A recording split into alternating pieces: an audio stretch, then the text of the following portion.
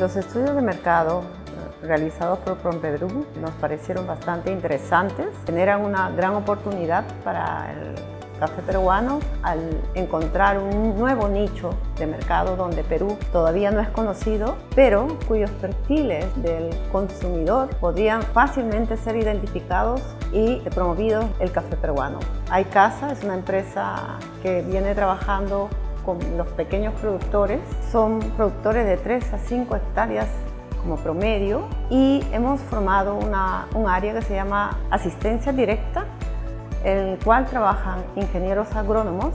que hacen una labor de trato directo con los productores para ayudarles a mejorar sus productividades en todas las etapas, pre, post cosecha,